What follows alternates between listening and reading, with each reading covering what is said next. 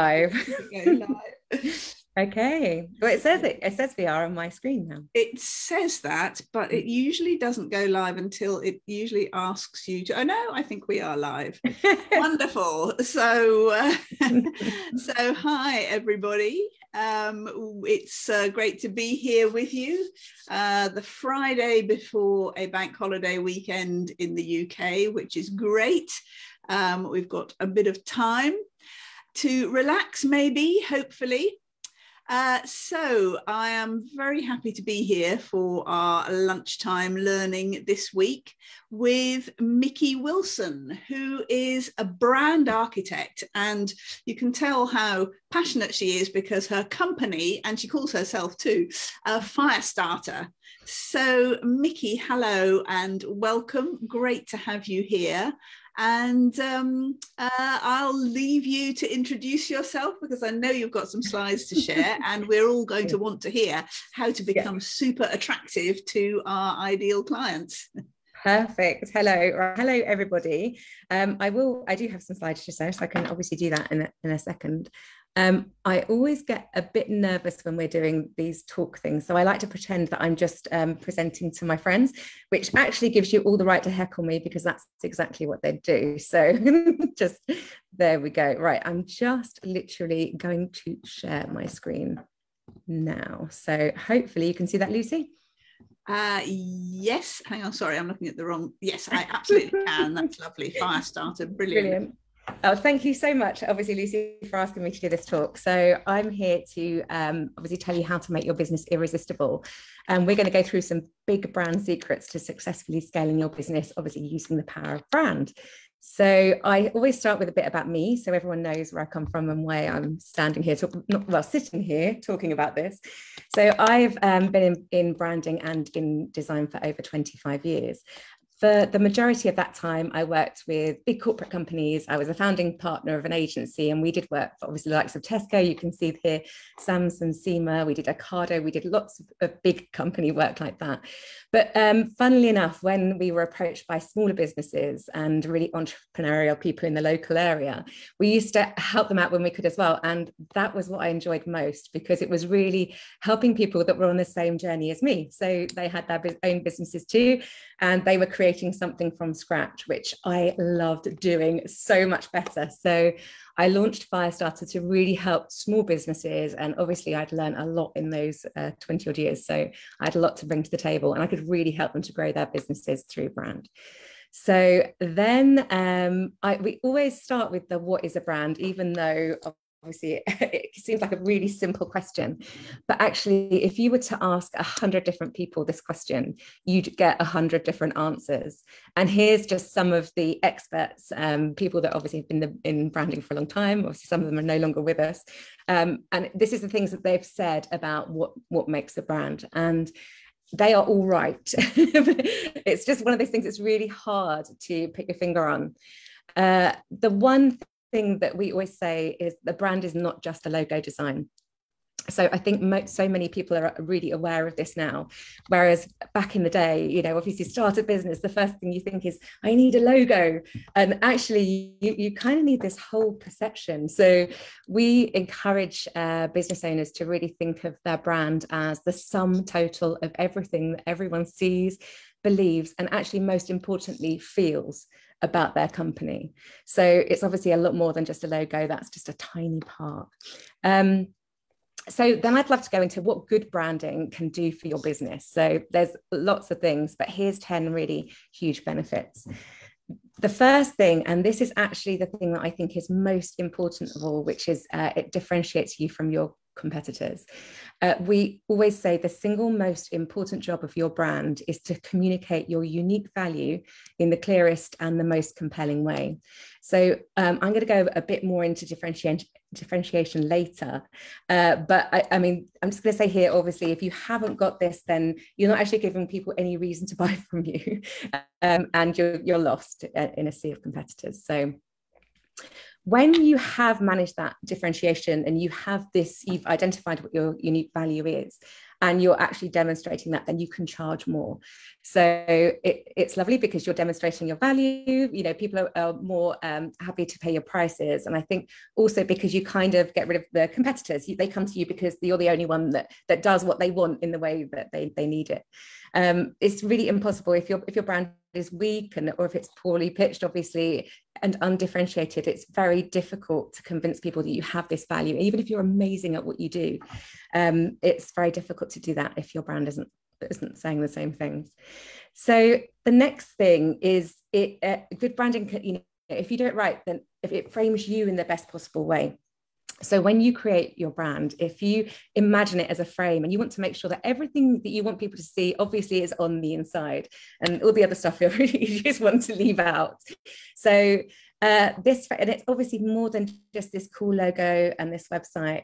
You got to think about every touch point. So if you are working with your clients um, you know you are your own brand as well. It's you know how you appear to them. So it's where for example you choose to have a client meeting. Um, you know is it sort of a local greasy spoon? That might not set or it might do depending on what industry you're in but it might not set the right impression. So if you have an office and clients come to your office, again, this is all part of your brand. So it's really understanding that they're building this complete picture. So you really want to think about this frame. On the next couple of slides, we've got a couple of examples of, of uh, kind of framing. and uh, there is, so we'll have a little bit of fun because it's like the first one is, you know, who would you rather buy financial advice from? So you've got this guy obviously on the left who's actually he's having a lot of fun. So you might want to work with him more. and the guy on the right, you might say, actually, he looks a bit greedy. But to be honest, you would have more confidence in the guy in the guy on the right. So I mean, you can put uh, your answers in, in the Facebook group. It'd be interesting to see what, yeah, what you actually like to. yeah. So, but it's, it's a really good example of obviously what you're wearing, even, uh, you know, obviously the paper airplane thing I love, but the other guy's got the Financial Times, you know, he's clearly kind of in, in that business. So, the next example is a couple of logo designs. So obviously we said about this kind of unique value thing. And it's this is actually for the same company. And this is the very first logo that Firestarter designed. So it's for an insurance company called Alpha. And um, they were all about no nonsense insurance clarity simplicity and getting a very direct message across so um, to customers and the I'm hoping that you're all going to prefer the logo on the right, which is the one that we designed. Um, but you can see that you know the old logo, the one on the left, just really didn't say this. If, if they're all about this clarity and very direct messaging, then that wasn't actually being um, communicated in their logo. The one on the right, we we designed obviously to be very simple, very clear, very bold, um, we still have the little icon, but so we're still using an alpha sign. And we have this uh, kind of wing of protection or almost like a guardian angel. So we've got that kind of, you know, that's coming through in the brand as well, which, which is, is quite nice. And the last example of this kind of framing uh, your unique value is uh, where would you rather eat pizza tonight? So we have this beautiful place, obviously on the left, on the right you could go to herpes pizza and this is uh, um the, well, i don't know if you can actually read this but it actually says in that green bit hot and fresh herpes. So they really haven't thought about their branding um or their framing and yeah i wonder how many customers they get. So it's just it's bizarre.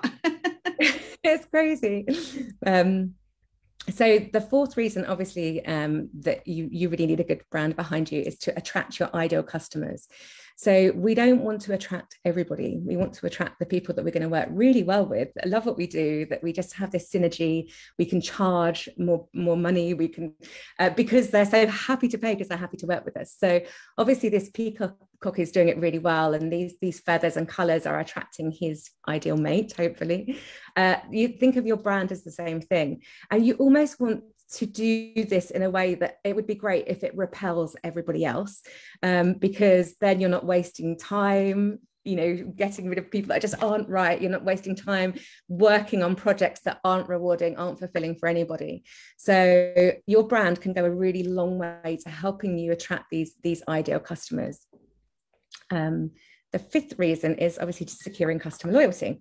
So when you have your customers and they come to you, obviously that hopefully these ideal customers, or call them VIPs, um, if you're continually delighting them and uh, you know, obviously it says here, reminding them the reasons they chose to buy from you in the first place, then they're more inclined to, to stay loyal to you. And more than that, they kind of become advocates as well because you have this strong, recognizable brand. You're easier um, to refer. So this, uh, it's all works really well, spreading the love with um, customer loyalty. Then the um, the sixth reason is to position you as an expert.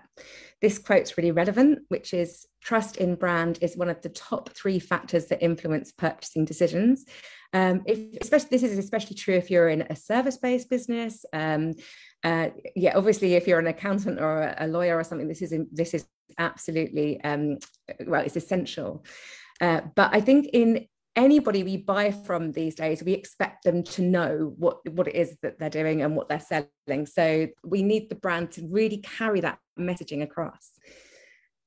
This is overlooked. So the next reason is to boost pride in your business it's really interesting because when you and if you have a team if you are really proud of your business then you'll perform better you get more customers you sell more you're happier to have you know higher prices and you can actually obviously um, win business on those. Uh, when you believe in your business then so do your customers because it's just it's just natural really comes across that you have this belief. And your brand is the very first indication of this. So um, and also when you love your brand then you make sure as many people see it as possible. I don't know how many people uh, how many of you have been to networking events for example when somebody will give you a business card and tell you oh it's a bit out of date don't look at it. Or you go, go to our website but it's you know you know bear in mind that we are updating it. It's not really saying the right things. And you just they're almost t- t- telling you not to go because they're so embarrassed. And it but when you love your brand and the way that it's, it's obviously positioning you then you you want everyone to go there. So you can't wait to give out your cards. You can't wait to send out your website address. So the next reason um, a really good brand or a powerful brand will help you to minimize advertising costs obviously because you have this power of recognition. Um, but the other thing is is because you've pitched it because it's uh, to attract these ideal customers. So you know lots about them, you know where they hang out, you know what messaging works with them, all, all those kind of things, which means you don't have to have this scattergun approach. You can have this very laser targeted advertising and marketing campaigns, which are bound to be far more successful. So it's actually the cost comes down and the likelihood of conversion goes right up.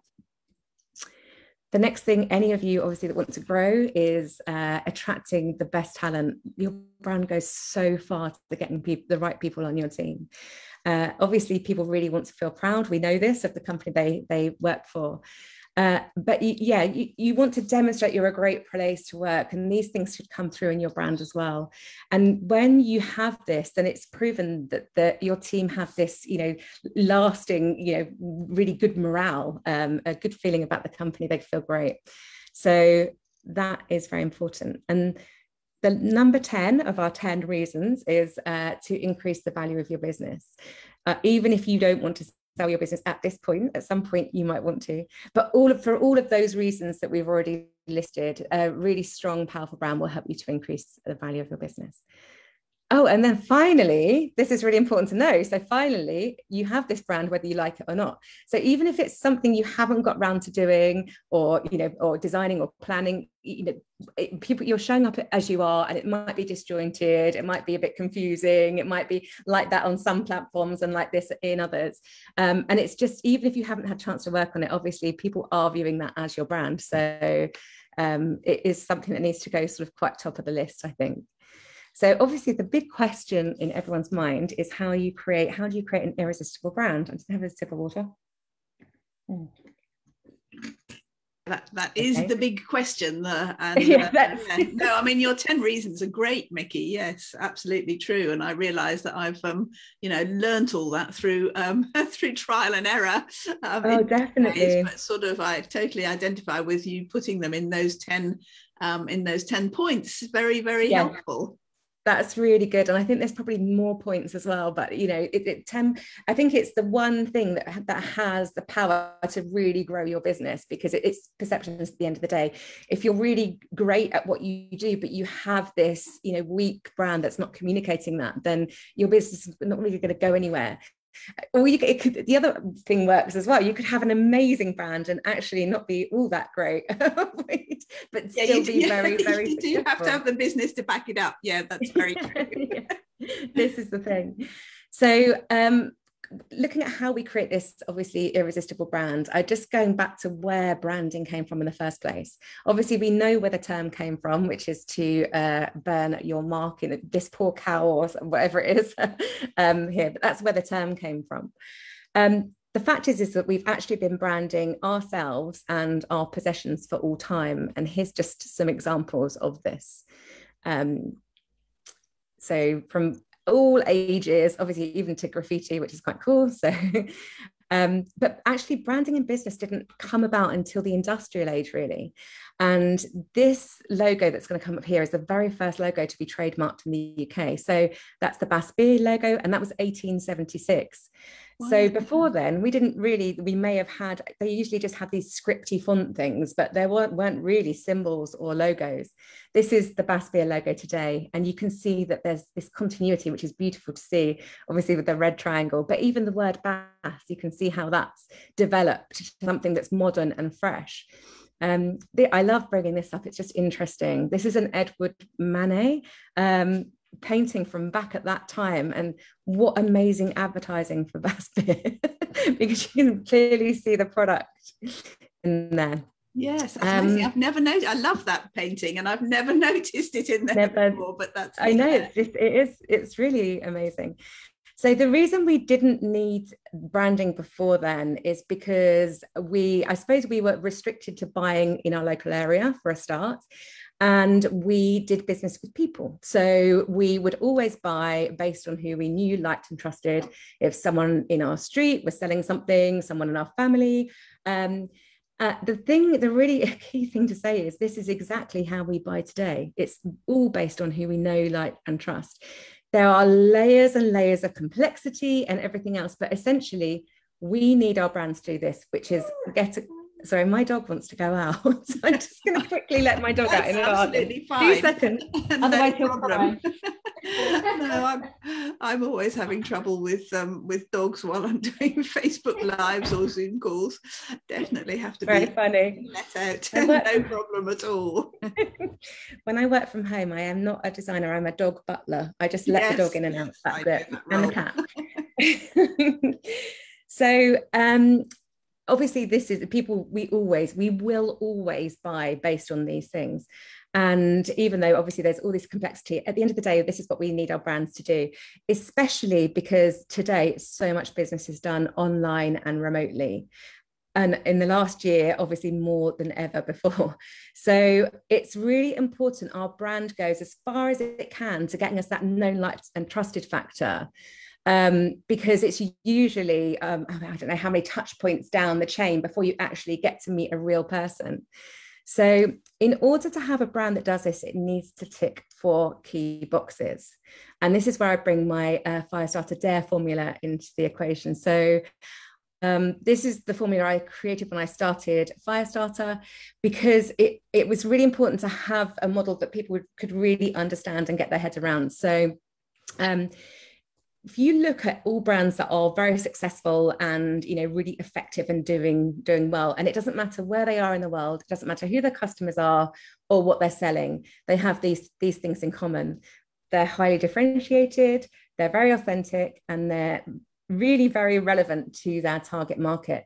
And they they are those things all of the time at every single touch point which is kind of some of the stuff that we were saying earlier when we go, if we go a bit more into differentiation now, this quote is really good. So differentiate with value or die with price.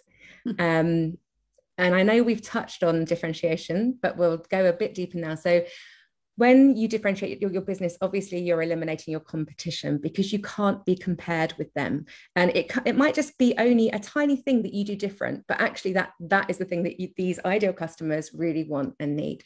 So you, it's understanding how you solve people's problems in a way that nobody else does. Um, obviously, we said before your differentiation gives people this really clear reason to buy from you and it enables you to charge these premium prices if that's what you want to do. Um, but when I look at the how, because this is the bit that most small businesses struggle to do over and above everything else. It's really to understand what their USP is. Uh, and especially if you're in a service based business, it's the hardest thing in the world. And this is probably one of the reasons I set up Firestarter because I could see how challenging it was for, for small businesses and they really could do with, with some help with it. Um, sometimes you have something that's just radically and wonderfully differentiated and you don't have to worry about this but otherwise you have to really work out what it is. So i've got some notes here which aren't on the presentation but i'm just going to quickly flick down and, and look up again. Um, it, it's um, one of the things you can do to find this out if you're unsure is to ask your customers why they choose to work with you. And sometimes this, this, brings up things that you would never even be aware of because you're so used to being you and you know obviously um, but when you actually ask your customers, and it's actually even better if somebody else asks them, we found this. Because um, I think if you ask them, you almost get a bit embarrassed because they start to say, oh, well, we love how you do this and we love how you, and you know, you almost kind of stop them. But if somebody else asks them, then it's it's great. And we do this with clients when they're on branding programs. Uh, we will ring round a series of customers and we'll quiz them. And we get gold dust out of this stuff. And when we go back to the business owners, they're so surprised. They're like, oh, I've never realized that. It's just something I did. And then it, we start to then build their USP. We we realize or their unique value proposition even we realize that you know this is stuff they do they're so naturally they don't even know the other thing to say is you don't have to be different to the whole world. Uh, obviously, that's probably completely impossible. Even everyone's unique, but it's completely impossible to actually demonstrate what that is. It's just to those in your immediate catchment area. So, for example, if you if your business is like based, perhaps I've got an example here. Actually, uh, you could say you're the the only whole body coach for busy mums in this town or whatever town it is, or something like that. Or you know, it, it just needs to be with the people that are in your immediate area. So that you're those kind of competitors that you bump heads with a lot. Very often if you own uh, run a micro business or sometimes if it's just you then your differentiation usually is just you.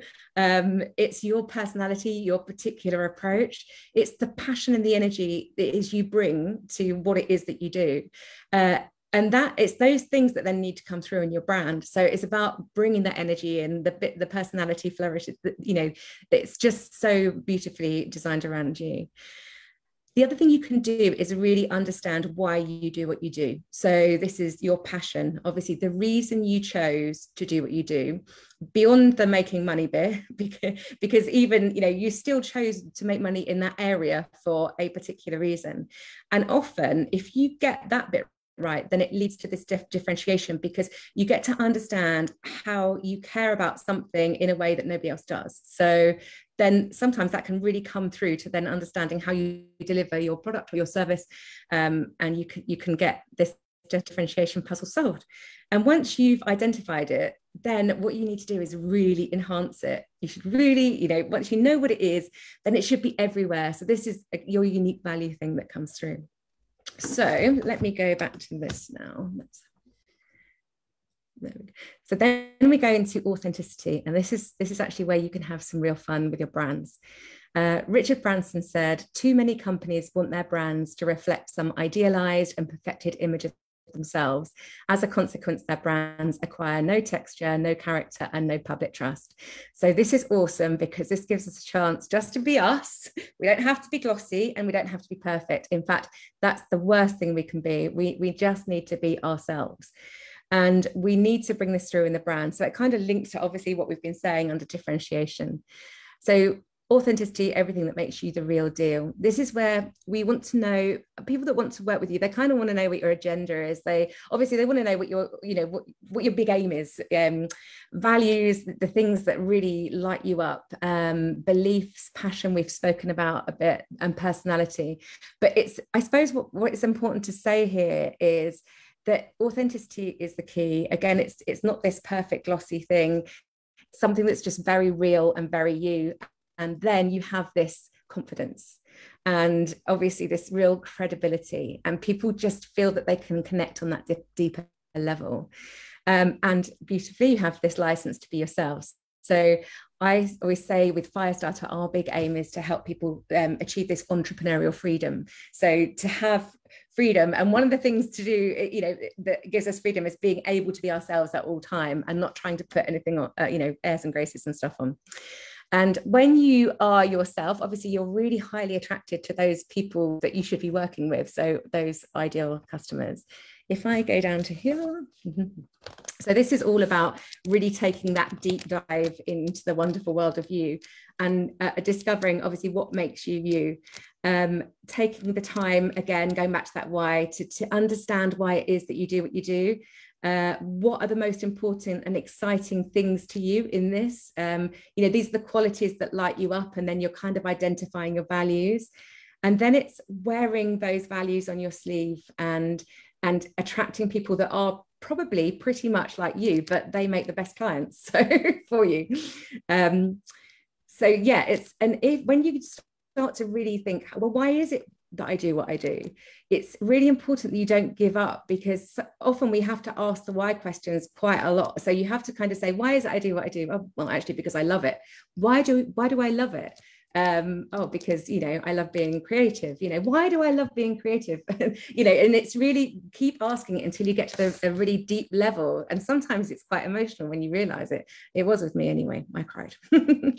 Um so then I right let me go back. The other thing is when you're thinking about brand personality if you're i don't know if you obviously some of you may be working on your own and it's very this is your personality that needs to come through. If it if you're working with a team then it still kind of needs to be led by that visionary person in the business. I think the person that's kind of my dog's back now and he wants to come in. that's okay. to come in. I'm so sorry. Two seconds. Hi, Mickey. Don't worry at all. Go and let him in. come on. You're annoying. Come on. You're annoying. So if you so if you've got any questions for Mickey, do put them in the comments, and I will relay them to her. Um, but it's but uh, it's all uh, it's also true, and and it doesn't really matter whether you're a big business or a small business. You have to have you have to have that sort of um, that alignment, and also your own your own story. And this aligns with everything that I I tell everybody about writing books. You need to um, talk to your ideal client specifically when you're writing your book. And also, um, you have to be completely authentic and you have to have your own story running through the book because i think as as as mickey's saying about brand um, you're often you're often aiming your your service or your business or whatever it is at people who are like you or have um, who who are have experienced or are experiencing probably what you experienced some time ago, but you've learned how to deal with the problems that they may have now. And that's the way you the way you express that is by telling your story so you tell them what you've learned what your what your failures what your um, your kind of challenges were and show them how you have learned to uh, create the service that that that solves these problems or answer these questions. And and that's the way i think you um, you you develop your brand story. And that story also your brand is also very similar to what needs to go into your book um, in as much as it is um, it's it's the same it's the same um, um you know it's, it's it's you that you're selling in many ways. So um uh, yeah, it's uh, definitely. And i always say uh, i wrote a blog actually that was so it's really getting you out there and wearing your heart on your sleeve. And your story is so like impactful when it comes to getting this stuff across. And when you when you you know you tell people why it is you do what you do and the journey you've been on and everything. And this blog i wrote that um, i think i put in there that it's it's almost like um, skinny dipping at SeaWorld because you have to kind of get it all out there, which, you know, and you know, people get to know you as a person. And so, you know, think, and when they understand your journey, I think it, they understand there's going to be moments of hardship there that actually make you amazing at what you do. And that stuff needs to come out. And that, what better way that, you know, to bring that out than in a book? I think it's fantastic. So, right, that's, uh, I think we're done with that one. So we're now going to go on to relevance. Um, Michaela, there's a few comments here. Um, so uh, Sue Williams says, I'm loving this. And Michaela says, um, so very comprehensive and engaging. And Michaela also asks, have you written a book yet, Mickey? we were talking about no, this earlier. I told Lucy before this that I really want to write a book. I can't wait to write a book. So I, I yeah, that would be fantastic. That would, thank you. um, it kind of is a bit of a no-brainer that we have to be relevant to our customers and you know to and it really obviously attracts people's attention but we don't want to stop just there. We we want to do this. We want to really resonate as well which obviously is engaging um, winning their hearts effectively. So um, when we create brands it's very important that we look at the real logical reasons that people need what we do. So we're kind of stacking up the logic in a, in a kind of business case but we need also to really understand what it is that people um, why people choose to buy from us on an emotional level. And we need to put that in there because people always make these decisions with their hearts and it's called the gut feel. And they it's been proven that even if you if the riskiest most expensive purchasing decision um, people don't even know they're doing it but they choose based on how they feel then they kind of trick um, themselves into thinking that they've used the logical reasons. Um, and then they, they obviously use those to justify that decision and to themselves and then to everyone else. So it's important, obviously, with branding and with any kind of marketing that we have this real uh, logical understanding, but this, this very sort of emotional pull as well. Um, and then I think the other thing that it's really important to say in terms of this relevance bit is it's it's thinking 360 degrees. It's not just customers, but it's everybody you want to attract. If you're building a business and you just concentrate on getting customers, but you can't get people on your team to help you, then your business isn't going to grow in a very sustainable way. There's other things as well because uh, uh, you you may often if you can identify strategic part partners that can really help you in your journey, then you've got it's kind of like a fast track to success, really. Um, some of you will need investors. Um, obviously, if you're intending to, to sell, then you'll, you'll be looking for a buyer at some point. And it's important to know that your brand needs to appeal on all these different levels. So, not just um, customers, it, ne- it needs to kind of have this really whole and rounded appeal um, and then and then you're, you're going to have something that obviously uh, will help you to grow. Um, right let's come down to here. So it's sorry. Um, obviously this is where customer profiling is really really important. Understanding who those ideal customers are understanding what makes them tick um, building those detailed avatars and personas. Um, it's it's just really understanding why they make purchasing decisions. You know what are they trying to avoid more than anything in the world that you can help them to avoid obviously they're, they're their pain points?